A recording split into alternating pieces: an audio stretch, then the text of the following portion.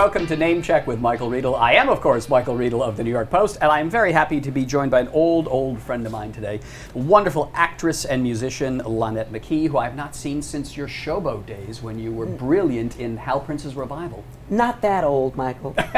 old, old, old, old friend. Chop off a couple holes, Sally. my dear friend. Yeah, How's that, yeah. Lonette? Oh, that's all right. That's all right. and And we we also, my stripes, right? You know, you know it. And we've also got Mara Siegler here from Page Six. Mara, you've got some uh, tasty tidbits for us. Uh, yes, Michael, I do have some tasty tidbits on both Robert Pattinson and also on Lindsay Lohan. Ooh, good. I can't get enough of those Lindsay Lohan yeah, tasty I want to hear the tidbits. Lindsay Lohan stuff. All right, Mara, we'll get right back We don't you. hear enough of it. Absolutely not. that woman is not in the news enough. She's not. No. She needs a new press agent. it's true. uh, it's good to see you again, Lonette. Thank you, Michael. Um, I want to talk about Sparkle because there's a remake of the movie that you were in originally, and Indeed. everyone's talking about it because it's the last movie that Whitney Houston made I know. before she died. I know. Did you have any dealings with her? No? I actually didn't have the uh, opportunity to ever meet Whitney in person, but Mm-hmm. of course we, we all love her. We know she's a legend and an icon.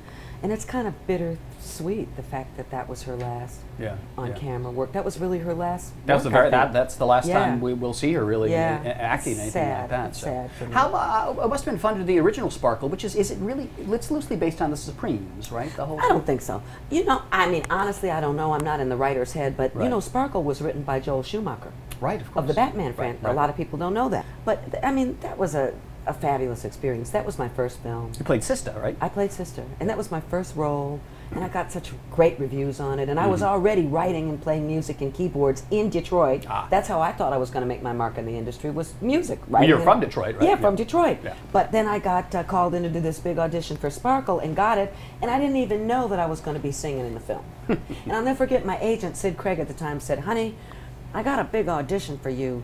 If you could just put together a song." Now I had been singing and playing since I was five years old in Detroit. Had my first hit record when I was 13. I was like, "Yeah, Sid, I think I could put a song together for you." What was the song that you auditioned with? It was called What About You? And I sat at a big grand piano and played for myself. All the other ladies brought in their own accompanists. Uh-huh. I sat and played for myself. You first came to my attention, though, in your brilliant performance as Julie in Hal Prince's great revival of Showboat. That was a beautiful show. It was your first Broadway show, right? No, your- what else have you no. My first Broadway show was for Martin Charnin, the first. You weren't one of the orphans in Annie, were you? Funny. you. Maybe I could have been. But no, my first show was the first. The I first, played right. Jackie Robinson's wife. That's right. Opposite David Alan Grier. David Huddleston was in the show. Right, right, right, right, right. Did um, uh, uh, who was the TV critic who who wrote that? Um, They Martin- didn't like that show. No, they didn't. But Martin wrote it with, jo- with Joel Siegel. Joel Joel Siegel Remember wrote Joel Siegel from. ABC? He was he wrote the book to that. Yes. Right, he was right, wonderful. Right, right. So you'd been around Broadway before Showboat, but you had not had that kind of breakout role like you get with uh, Julie. I would say that's the breakout role, but actually, the breakout role with Showboat first came in 1983 with my first Showboat production, which was for the Houston Grand Opera. Right. That's the one I got the Tony nomination for. Right.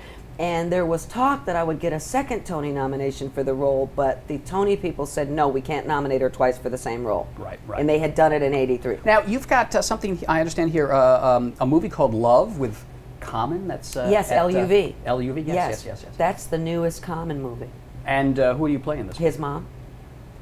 Yes, I've been I don't believe it. relegated I to don't play. believe I, it. look, it's very upsetting.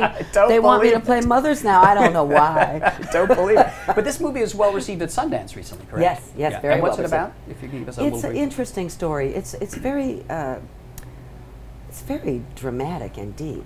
It's about uh, Common is a kid's uncle, a young boy, a 12-year-old boy, and he comes back into this kid's life, and the kid's lost his father, and Common kind of steps up and takes his, the, the father's role, but it turns out that Common's uh, got an agenda. And at the end, it's very tense. It's it's down to the kid with a gun and Common, and it's very very deep, very well written, a lot of twists and turns. I don't want to give it away, but it's really really interesting. And Common's a great guy. He's a great actor, and he's a really decent human being. I want to get a little bit of gossip from uh, Mara Siegler from Me Page too. Six. All right, well, some exciting stuff. Twilight fans are very excited for next week. Robert Pattinson is going to be in New York making the media rounds for his newest movie, Cosmopolis. It's the first time that he has done any press since the whole Kristen Stewart cheating scandal broke. So it's going to be interesting if he actually addresses the issue. He's going to be on Good Morning America next Wednesday, and sources tell us that um, everything is on the table for discussion. So he might actually end up saying something. Kristen has actually made a public statement where she said, To the world, I love you, I love you. So we'll see if he responds.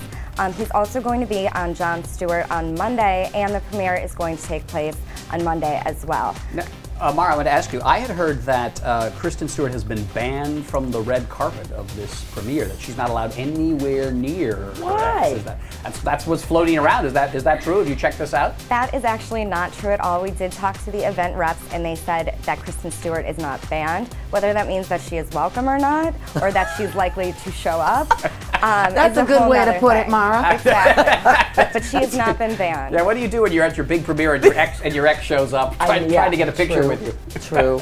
True. You think we'll see a photograph of the two of them together on the red carpet? Uh, I do not. I would not count on it. But then again, it would be exciting. So. And It as would. we cannot get enough of Lindsay Lohan. So what is she up to now? Um, so the Lindsay Lohan uh, comeback train rolls on to the tune of Lady Gaga. Sh- Uh, Lindsay is actually going to be in Lady Gaga's upcoming video for her new album Art Pop.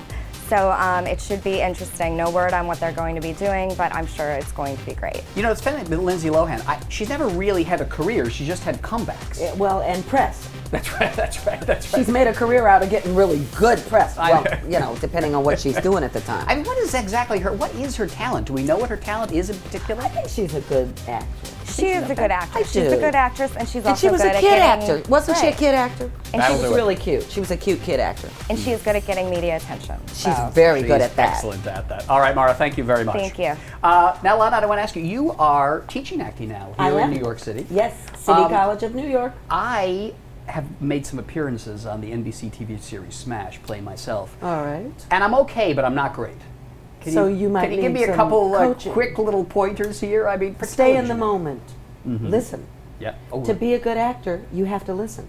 Right. That's really all acting is about, is right. listening. So, in other words, I'm listening because I want to react as if I'm hearing that dialogue for the very first time. Yes, and the key is to actually mm, get yourself in some sort of a place where you almost are hearing that dialogue for the first time. Mm-hmm. I know that sounds crazy, but that's what you have to do as an actor. Right, right. I mean, I'm playing myself. You can't anticipate. Right, right. You have to just listen to what the other person is saying to you And take it then in. react honestly, Right. the way you would, only now you're going to do it as the character you're playing. Right, right. Uh, and also, you've got another project called Dream Street, I believe. That's Dream your Street, uh, yes, your yes, that's correct? my screenplay. Mm, You do everything: sing, you act, teach, and write the screenplays. You have to. Yeah, that's right. Don't you have to in our business? Yeah, and that's the, at the Sundance Lab too, right? Dream Yes, Street? yes, yes. That was one of the finalists in the Sundance Lab, and Dream Street's going to be a great movie when I actually put all the funding together, which is a whole nother story and a whole book I have to write about You're, that. you're a producer as well, I see. Oh my God, it ain't easy, and I want to direct it. That's part of what makes it not easy because they really don't want women to direct. Well, direct that's as a rule in this industry. really? They don't trust. They don't trust Well, you guys. and I can tell you, they sure don't want black ones doing it. of that, I am sure. But but that's going to be a great piece. It's an ensemble role, and it's told through the eyes of a young woman. Um, and it's got it's, the backdrop is the hip hop music industry, but it's not a musical. It's a very it's an urban drama. It's a Right. tragedy, actually, an urban tragedy. sort of behind the scenes of the hip hop world of that. Definitely era. behind the scenes, through the eyes of uh, of a girl, a young gifted girl who's a writer producer. And finally, you have a concert coming up that I'm going to be seeing I do. in this month, right? Yes, August 24th, Friday night. Mm-hmm. Tickets are on sale now. It's at Aaron Davis Hall, and it's Michael Henderson, who I grew up with in Detroit. Absolutely. Who's one of the greatest musicians in the world. Played and wrote with Miles Davis for Yeah. 20 Oh, yeah, years sure, before sure, Miles sure. crossed over. Right. It, as the only best way I could uh, say it. I guess he died. Yeah. As he crossed over Yeah, permanently, he- he's not coming back. Yeah, later. he crossed over permanently. But um, so we're going to do this concert together, and it's the first time we've ever been on stage together. And the fact that we're doing it at my school where I teach, which Mm. Yeah. is City College on the campus, with my buddies up there at the college. And can we expect something from Showboat? You're going to see Showboat. You're going to see my stuff from Lady Day at Emerson's Bar and Grill. Oh my God, that was a classic off-Broadway, All yeah. the songs from the movies, from Sparkle, from Cotton Club, from Round Midnight with Herbie. Hancock Yeah, and sure, De- sure. Dexter Gordon. You're going to see everything. And Michael's going to do his mega hits. It's going to be, we catchphrased it, a night to remember. I know. so- smart. Sounds like we got another. smart. Sounds like we got another Lena Horne, the Lady and Her Music brewing here. I O- think so open- too. She opens for two weeks on Broadway and runs two years. I know. Can you believe it? And Yeah. you know that's rough. Doing those eight shows a week. You know it, but you can do it because you're a I pro. I have done it. Oh yes, and you're a pro. Because a lot of the young kids Thank you, Michael. A lot of young Keep kids reminding me. A lot of the young kids today, they only want to do six performances a week. Well, you know why? You're a Broadway star. You got to do eight. because they've not studied any technique and they vocally can't They do can't do it, eight right. shows a week. Right, right. Well, they you can't can. sustain their. I, I can. And I'm coming to that concert. You better be there. I'll be watching for you. VIP treatment, baby. Thank you very much. It's good to see you, Lonette. Oh, thank you. Lonette McKee, Thank you, so much for being my guest on Name Check, and thank you, Mara, for the uh, for the gossip. And we will see you next time on Name Check.